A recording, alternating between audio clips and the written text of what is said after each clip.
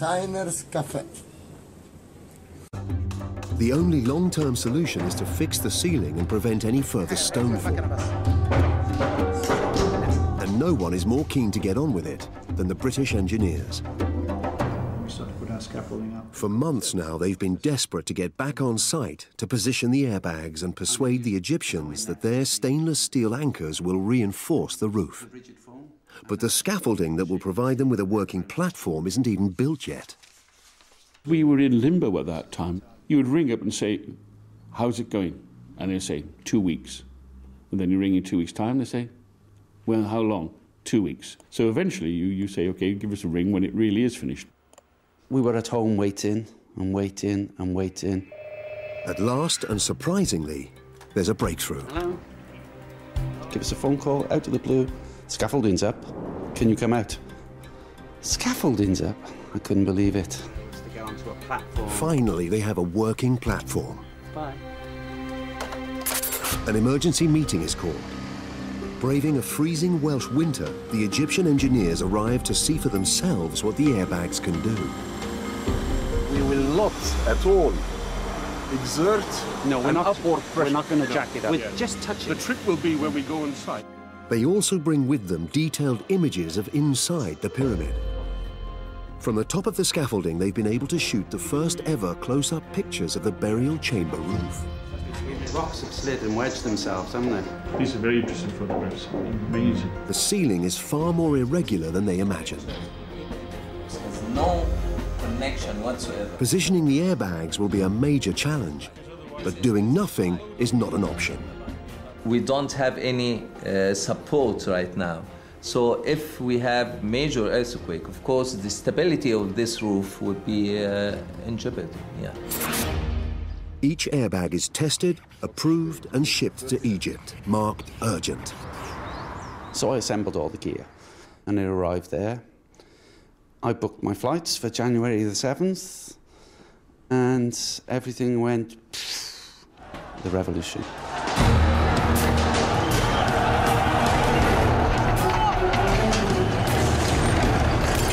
January the 25th, 2011, thousands of anti-government protesters occupied Cairo's streets. They call for the resignation of President Mubarak, who's held power in Egypt for over 30 years. After 18 days of violence, Mubarak cedes to the crowd's demands and resigns. Anarchy continues, putting Egypt's historic treasures at risk. Cairo Museum is attacked by thieves who take advantage of the chaos. On January 29th, I was between the people and I tried to protect the museum, and the young people protected the museum with me. Outside the city, the situation is also critical. All the police and the military abandoned archaeological sites. And this was really a terrible thing. Half fixed, half broken, the step pyramid is more vulnerable than ever. The looters attack. The first day when the criminals and the thieves entered Saqqara, they opened the tomb of Ti. They opened the tomb of Mereruka. They opened all this famous tomb. Throughout Egypt, the chaos continues. And I was watching on the telly and I was getting scared. Scared because there was no police there. All my equipment was there. Was it still going to be there when I got back into the country? Our agents didn't know any better as well. We could ring them and say, What's going on? They said, We have no idea. And the question then was, how long is this situation going to prevail before we can actually get there and intervene? I said to myself, Saqqara is finished. Abandoned, laid bare again by savage history, in the story of this pyramid, maybe the final die is cast. Four months later, the worst of the violence in Cairo recedes. Egypt is moving on. Now, at last, the British engineers get the call they've been waiting for. And they keep keep ringing me every week, every week. Mr. Dennis, we need you out here, we need you out here. So um, we travelled in May. A quick check confirms that their luck has held. The equipment survives untouched. After so much uncertainty, they can finally get on with the job of installing the airbags. From the scaffolding that now fills the burial chamber, they get a close-up view of the challenge ahead. It was actually the first time that we had been in there and seen what we were up against. The higher they go, the worse it gets. We went up the ladder to the top deck. We just sat on the scaffolding, looking at the surrounding roof structure, which was nothing like we thought it was going to be. And I looked up at the ceiling. Now you're only inches from it. And there was just lots of mud, lots of clay. And it was frightening. And there was just this weird feeling. You felt as if there was a, a, a presence in there, and it wasn't me and Dennis, put it that way. I don't like it up here. From that on, we thought, well, let's just get on with it and see what we're going to do. I didn't touch it. I just... But before they start to install the airbags, Dennis must adjust the scaffolding. Right now, there's nothing anchoring it to the burial chamber wall, and it's moving. Too much for Dennis's liking. Anyone going down the stairs or anything introduce so much vibration and swaying into the scaffolding. There's too many people up here. It's safety. He's on about all this safety. Get all get out here, otherwise we'd all not starting. Dennis insists that they install reinforcing braces to minimize movement, We don't want any vibrations in here. though that carries its own risks. The pressure is on to install the airbags as soon as possible. Until I had them in, no one was safe. They start at the very top of the chamber. The irregular shape of the ceiling means it's impossible to get a perfect fit. Dennis and Mike carefully pack the voids with high-density foam. Any upward pressure could dislodge the fragile stonework. There was rocks falling. You'd only have to bump your head on when it'd fall down. With every bag they install, that danger recedes a little. But the ceiling is so unsafe, it's a much bigger job than they planned for. Because I wanted more of it supported, I didn't have enough airbags. Dennis has to call time out. I think that's enough for today. My heart rate needs to go down a bit. You're going home. There's lots more to do, but already the bags are taking some of the pressure. When all 18 are in position, they could, in the event of a collapse, hold the calculated weight of the ceiling above. But they're only as strong as the scaffolding they sit on. And this one isn't built on solid rock. Previously, while clearing fallen debris from around the sarcophagus, the Egyptian team made an incredible discovery. A tunnel extending directly underneath the 100-ton stone coffin of the king. we discovered this tunnel. This tunnel was completely blocked. And therefore, we didn't know really how it looked like under the sarcophagus. They realized the tomb didn't rest on rock, but was precariously balanced on 18 limestone pillars. Building a 28-meter scaffolding on top of this fragile base seemed like madness. But that's exactly what was done here. To hold the weight of the massive steel structure, the floor was reinforced with hundreds of sandbags, packed tightly beneath and around, creating a solid base upon which to build upwards to within touching distance of the roof. Under which the race to restore the pyramid is entering a new and dangerous phase. The British engineers want to drill into the burial chamber roof and insert stainless steel anchors for a permanent fix. But they have yet to convince the Egyptians of their plan. The final decision will rest with Dr. Hassan. And right now, he's worried that drilling directly into the ceiling would cause dangerous vibrations, perhaps even a collapse. Test after test is called for. We're trying to find which one is the optimum speed to, to give the least amount of vibration. The decision to drill or not won't be made quickly. No one wants to make a mistake. We're going to drill the next one on a solid surface. Meanwhile, there's other critical work to be done.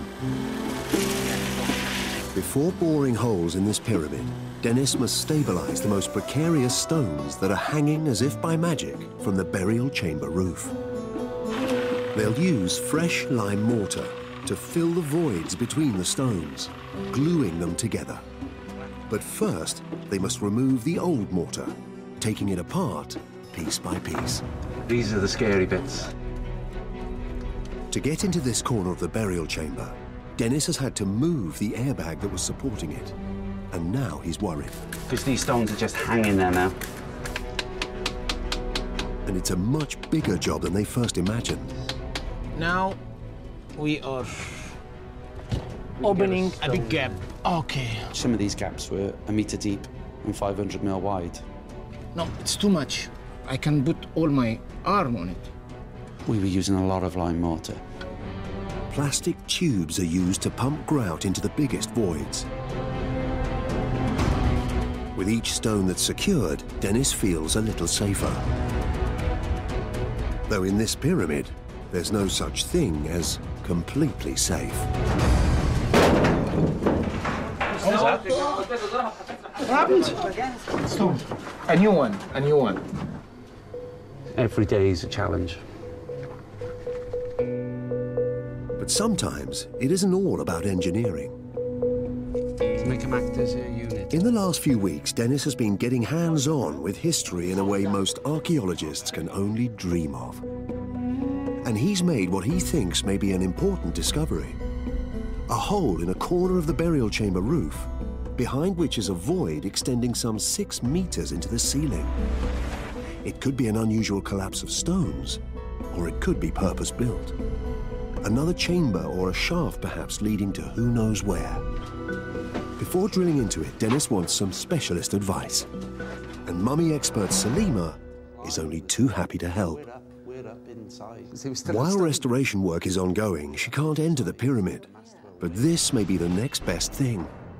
It looks really narrow. It's very confined, but it just continues up as far as we can see. So it sort of goes up like a chimney. It looks like a chimney. Okay. Draws up. In later pyramids, such as these in Giza, the burial chambers have northward facing shafts, along which some believe the king's spirit can ascend to the afterlife. Could this be what lies behind this void? So wait, wait. So you mean this is like the passages in the Great Pyramid? So this would be a precursor? This precursor. is facing north as Eh, well. really? And they like it to face north. Yeah, of course. That's the entryway. That's the North Star. That's where you become one with the stars. Oh, how nice. Only when it's fixed will archaeologists be able to investigate this pyramid's many mysteries. On the outside, day by day, progress is reaching new heights. While on the inside, the race to restore the burial shaft is entering the most critical phase of all. That's what we're trying to prevent catastrophic collapse. Yeah. Cintec's plan has always been to insert stainless steel anchors to secure the burial chamber roof. But they still need final sign-off from the Egyptian experts, and they don't have it. We need a decision. No one has said yes. To help force a decision, Dennis has called Richard and Peter to site. Actually, drilling some holes in the pyramid chamber um, was a major step. I think the most dangerous areas were the stones that apparently had no connection to the rest of the body of stonework. The chimney, as Dennis calls it, is a real worry. This is very fragile. It's all tenuously held together. There can be no more delays. What we need now is someone to say go. The engineers must decide whether to drill or not. These are going to be working anchors. I'm going to install anchors in these today. So it's a cable we're putting in. Yeah. A deal is struck. All right. Okay? Let's start the second. The first anchor will be drilled in the far corner of the chamber wall. An X marks the spot. They'd come to this position where they were now willing, and not only willing, but keen for us to get on with it.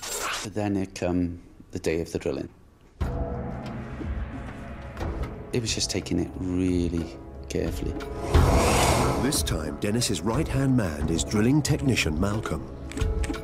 If somebody had told me 20 years ago that I'd be doing this inside a pyramid, most people don't even get to walk around one, let alone go inside and drill holes in it. But above the hole is a wooden beam surrounded by loose mortar. They wouldn't let us remove the mud from that beam because that mud is archaeology. So I was nervous. The Egyptians install measuring equipment to ensure the vibrations don't exceed safe levels. And Dr. Hassan wants to witness proceedings. Good morning, Dr. Hassan. Good morning. Ready? Finally, the moment that has been so long in the making. They begin to drill.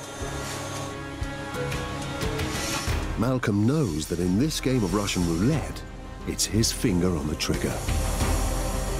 When you're drilling, it's very sensitive. It's, not just a, a case of rock drilling. Uh, you, you have to put yourself in front of that drill bit and imagine what that drill bit is doing. Any moment, you could have tons of rock coming around your ears. And he has a unique way of thinking about the job.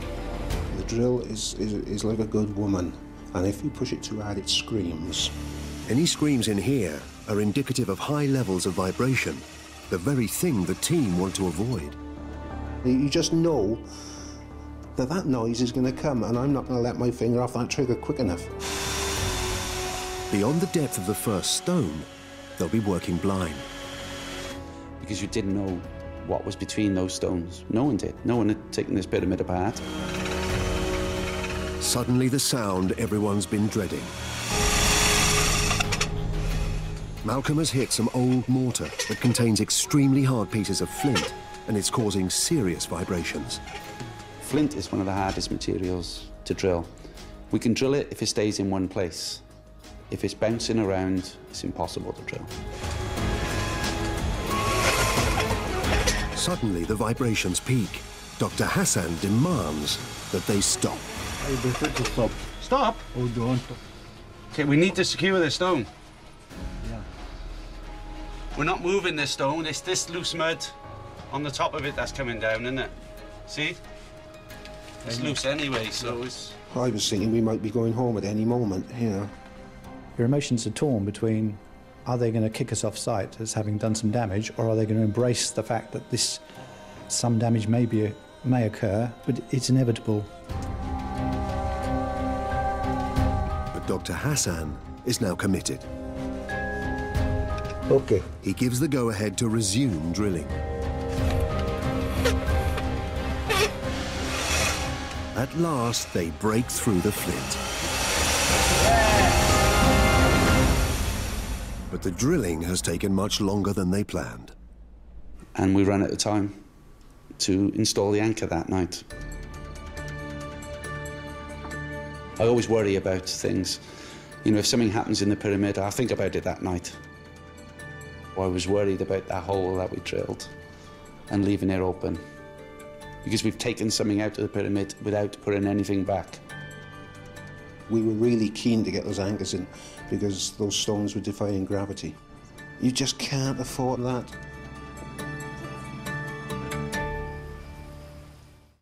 Built 4,600 years ago, the Step Pyramid is a foundation stone in the history of architecture. It's why people are risking all to rescue it. But Dr. Hawass and his team are not the first to try. All through the burial chamber, there's evidence of previous restorations that took place thousands of years ago. By then, the Step Pyramid was already an ancient structure. When the ancient Egyptian in the Saite period 500 BC found out that this room is falling down, and that's why they put this to hold, to hold the stones. This is dated back 2,500 years ago. But there's one piece of wood that's an anomaly. A plank amongst all the tree trunks. You can't get a support in there. To make way for the restoration, Dennis has asked the archaeologists to remove it, only to discover when the millennia of debris is wiped away that this plank has a story all of its own. One that Salima is delighted to explain. It's a coffin. It is, is it? It's a coffin of the late period, probably 26th or later. Can you go next? Oh, Uh, wait, go back, go back, go back. Oh, that's probably the dead person. Techen something? Some of the hieroglyphs are instructions for the dead person in the afterlife. I shall not walk backwards. I shall not stand upside down. I shall not eat excrement. Those are all things that they say. Obviously, one needs to look at this, the text more carefully, but we can try and at least under, start to understand what went on. Next morning, Dennis is back on site preparing to install the first of the stainless steel anchors in the burial chamber roof. Inserted up to lengths of five meters, they will pin the loose rocks together and transfer the weight of the ceiling higher up into the pyramid, preventing further collapse. Each piece of stainless steel is covered with a mesh sock that will be pumped with liquid grout. Inside the ceiling, this grout will expand to take on the shape of any voids between the stones, bonding them together. Dennis knows how badly this burial chamber needs it. Every time one of the anchors goes in, I feel a bit more safer. It will take 72 anchors to secure the whole roof, and the first are the most critical. Getting the first two anchors in place is a major step because you've almost demonstrated then this system will work. After centuries of decay, it's come down to a battle against the clock. The grout must be cooled to around 17 degrees Celsius. Not an easy job in Egypt. The temperature of the water out here from the tap is about 24 degrees, which is too warm to mix the grout, so we have to use ice to cool the water down. If it's left too long, the grout goes off and won't flow around the anchor. Each of the anchors can take a capacity of up to eight tons. It gently does it. Debris could have gathered in this hole overnight, and if the sock rips, the anchor will be ineffective. At last, they inject the grout and start to plug the holes. It's the first one. Yep, one done. The race to save this pyramid is not over, but an end is in sight. That was the trickiest one, that first one going in. And it's just a case of repeating itself now. Brilliant. It's been five years since the British and Egyptian engineers teamed up to fix this pyramid. Since then, they've cleared 350 cubic meters of rubble, replaced thousands of boulders, pointed, drilled, and anchored the first stone pyramid ever built. Together, they have performed architectural surgery, leaving the smallest of scars. We had all the ingredients, the technical challenges, the rebellion. This is the most important job we've ever done. When all the anchors are in position, the airbags can be deflated, the scaffolding removed, and the burial chamber guaranteed protection for a few more centuries. It's that buzz that goes through the company that you feel, yeah, you've done something that's really amazing. Personally, just having the experience of working on this monument has been wonderful. Rescued from turning to dust, this pyramid's many secrets are ready to be revealed. I think we should open the step pyramid to the public. It belongs to everyone all over the world. It's always nice to see these buildings given a new lease of life.